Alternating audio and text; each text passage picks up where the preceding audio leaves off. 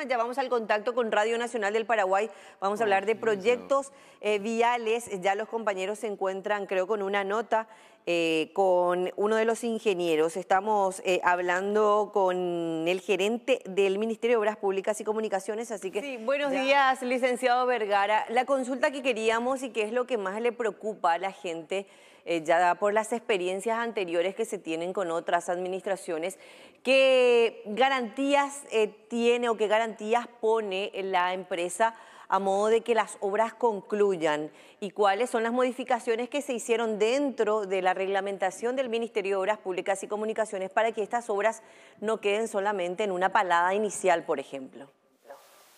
Sí, cómo no, muy, muy importante tu pregunta, Jenny.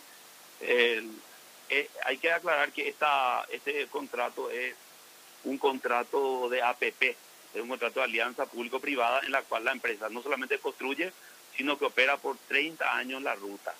Por lo tanto, el, la, la, obligación de la empresa no solamente está en construir, sino luego en operar toda la, la ruta. Y, y, la ley eh, de APP prevé un montón de mecanismos para asegurarse que la obra eh, pueda llevarse adelante y pueda concluirse a través de eh, mecanismos como eh, los paneles técnicos, los arbitrajes, la, lo importante, a ver, tienen también, eh, tienen pólizas muy importantes. Imagínate, para solamente para darle orden de inicio, ellos tuvieron que presentar una póliza de, garantía para la construcción. Estas empresas vienen con el deseo de, operar la ruta, construir, ganar la ruta, pero también en operar, ¿verdad? Porque realmente en la operación es donde ellos recuperan todo el dinero que invierten. Por lo tanto, eh, la ley per se está creada para que la empresa que venga a construir se quede a operar. Perfecto.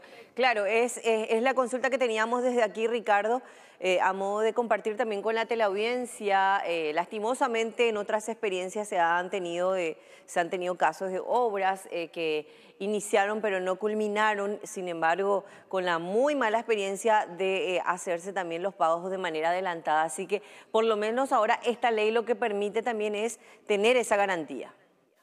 Así mismo, y hay que aclarar bien que acá el Estado no, no paga la obra, no es por avance que nosotros estamos pagando. La empresa financia esa obra, ellos tienen su financista, el banco, el BIT Invest, que es la parte privada del, del BIT, le está dando una parte, otra parte Goldman Sachs está estructurando la venta de un bono para, los, para el préstamo. Es una operación muy compleja que lograron, que logró la empresa, el consorcio, que hay que realmente felicitarnos entre todos, la empresa, el país, porque hemos hecho un esfuerzo como nunca de una operación tan compleja como una APP que no suele darse.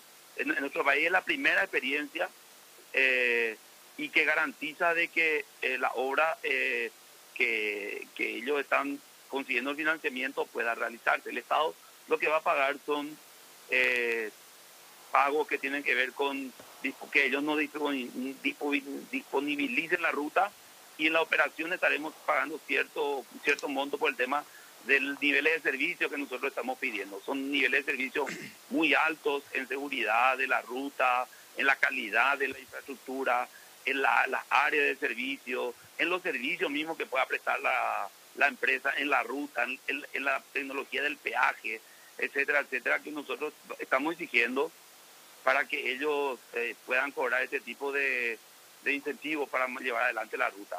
Y también recordar que el peaje, el peaje va a un fideicomiso no va a la empresa, va a un fideicomiso y ese fideicomiso se encarga de, cubrir eh, cuando, eh, si es que la ruta no es rentable, entonces se encarga de cubrir eh, los costos. Pero como sabemos que esta ruta es bastante rentable, probablemente esa, ese, ese, esos montos quedarán allí, ¿verdad? O sea, hay, tenemos, yo creo que demasiado, ahora mismo demasiada importancia está cobrando la ruta por el corredor que significa por la mejora que le estamos dando. Entonces, creemos que eh, lo único que puede producir es más desarrollo, más ingresos para esa zona, para esas zonas y también la posibilidad de para la gente de la zona, por sobre todo, ¿verdad?